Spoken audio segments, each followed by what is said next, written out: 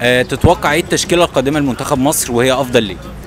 إن شاء الله ممكن تبتدي ب 4 3 3 يعني أنا شايف إن تريزيجيه صراحة ممكن يعملوا خطر من الجناب يعني وبالذات صلاح يعني. هيبقى زي التشكيلة اللي فاتت مش هيخش عليها تغييرات جامدة غير ممكن بس حد يلعب زي وليد سليمان ياخد من بداية الشوط الثاني لأن الماتش اللي فات كان محتاجينه بدل عبد الله السعيد. يعني هتكون 4 3 4 بس تكون غير التشكيلة اللي فاتت. التشكيلة اللي فاتت كانت تعبانة شوية وطلع إن المستوى مش كويس طلع مستوى تعبان شوية.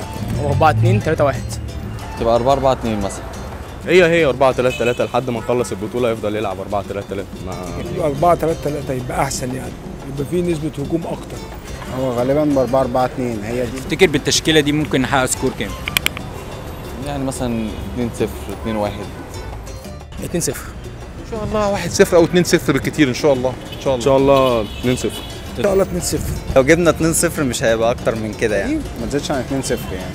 بعد هو هيلعب لقدام هي- هيلعب عبد الله السعيد ومحمد صلاح ومروان محسن. لا التشكيلة هيلعب نفس التشكيلة بس هيلعب هجومي أكتر وهيلعب مع حذر دفاعي لأن الكونغو المفروض إن هي هتبقى متحفزة جدا لأنها مغلوبة أول ماتش. ورأيك إيه في التشكيلة اللي فاتت؟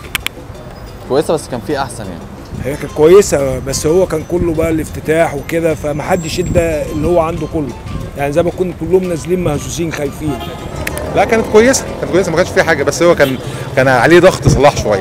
التشكيل كان كويس آه، من ناحية آه، كان بيلعب 4 3 3 واختيار العناصر كان كويس بس المشكلة كان في التبديلات اللي هو التبديلات اللي نزلها في الشوط الثاني ما كانتش موفقة قوي ما أضافتش كتير للمنتخب هو شال عناصر مهمة وحط عناصر من ممكن ما تضيفش حاجة للمنتخب.